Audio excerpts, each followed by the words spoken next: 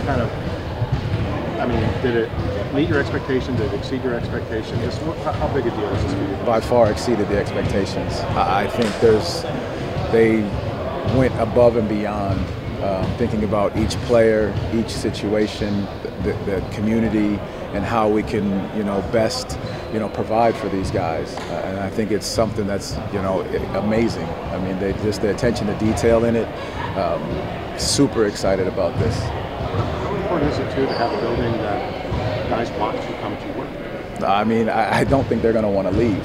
I think there's so many opportunities between a restroom, uh, the, the resting area, the nap area, um, the weight room, the sleep pods, the uh, cryo, the recovery room. I mean, the, there's actually like a game where they can just sit and have, play games. There's the food. I, I think it's going to be hard to get these guys out of here, which is exactly what you want.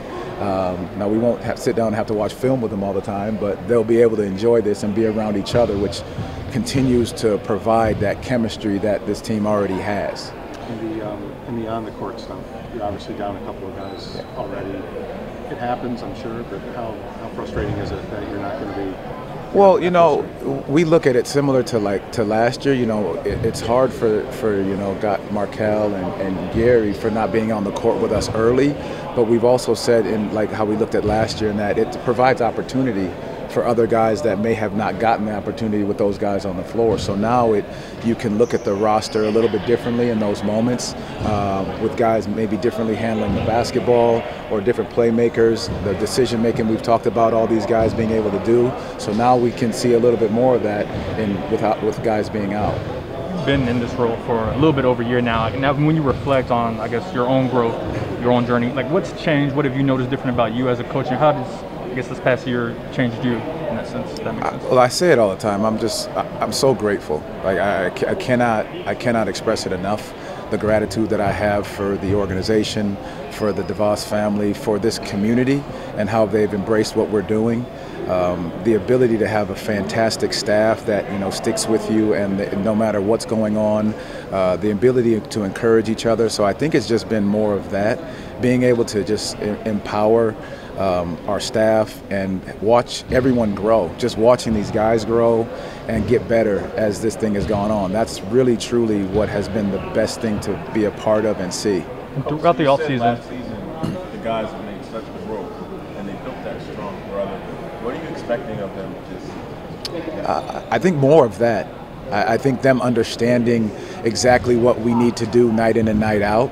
Uh, because obviously bringing back the same roster and then adding some young some younger players through the draft, I think the biggest thing that these guys are going to continue to understand is what we're demanded last year, and now more so it's just at a different scale. The level of detail turns up, uh, the attention to what we're asking continues to grow and get and they understand exactly what that is. throughout the summer that you mentioned accountability, growth. That, what does that look like on the court in terms of coaching them or in a game? Like, what does accountability in that sense look like? Oh, that's a great question. And and what I say to that is we talk about our guys leveling up. And for us, it's dominating the simple. It's how do you sprint into screens? Are you setting the screen with the proper angle? Uh, when we're asking you to slip out of a screen, is that what it looks like? Is it a, a certain box out? If we're crashing the glass offensively, did you go? Did you not go? Um, how many times did we have to tell you to, to go to the glass? Defensive rebounding. Um, our ability to make the simple and easy pass and the easy play. We asked our guys to be great decision makers, and sometimes that has to do with not just the basketball in their hands, but it has to do with off the ball. When are you cutting? When are you moving? When are you creating space for your teammate? All those things are coming into play because we've walked through all of that through camp last year and through the entire year. So now we'll be able to hit home on those even more so now.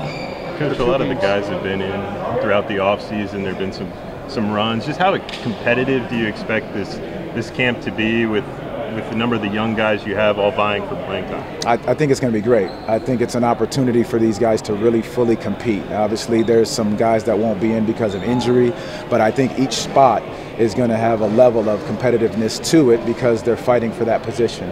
And we've talked about that because they understand what we were expecting of them last year, and now they know exactly what we're expecting walking to this year. So as they grab a hold of it, they'll be under, able to understand and compete for that spot, knowing what they're expect, is expected of them. The two games he played in Vegas, Paolo had all eyes on him, and mm-hmm. he wasn't phased. and he played, you know, obviously he played great in those two games. Just that little sample size, how much confidence does that give you that when the lights come on for real and it all starts again, all the attention from the outside will be on, you know, this matchup and what he does, the number one pick, and oh my gosh. He's not going to be, he doesn't seem like he's going to be phased by it. I, I guess what, that experience in Vegas, what you learn from how he handles those moments. Well, the great part about what he been went through in college was, you know, it was Coach K's farewell, you know, tour for every arena he walked into.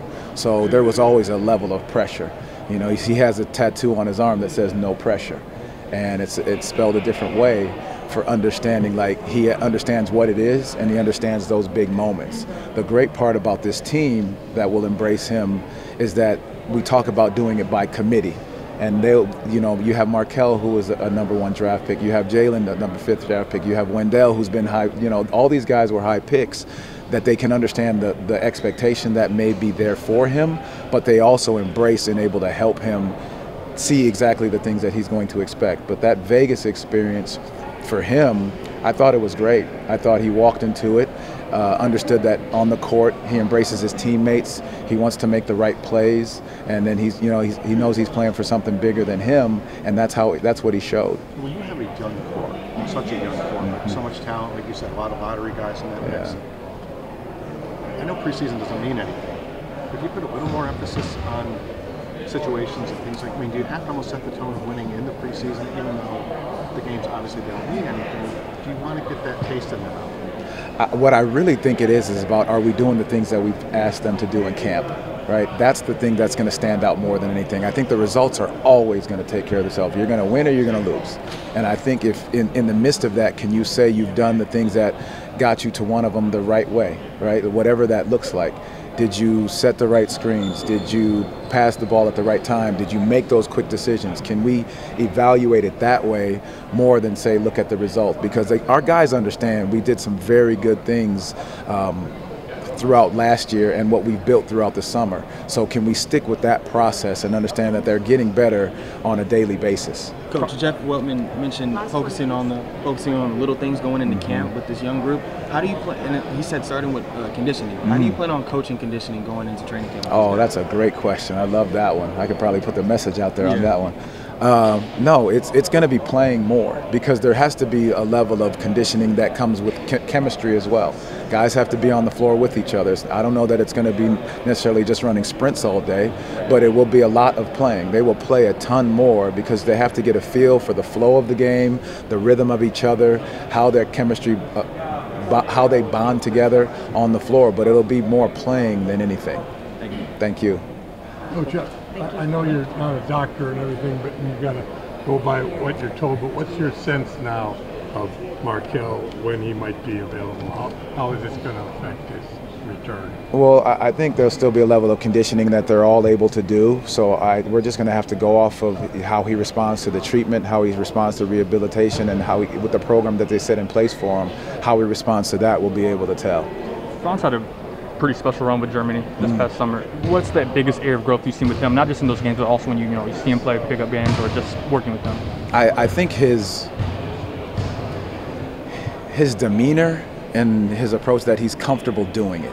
Uh, I think if that's if that's the, the best way that I can put it, like where he feels comfortable in his ball handling, he feels comfortable being a vocal leader. He felt comfortable kind of helping lead that team.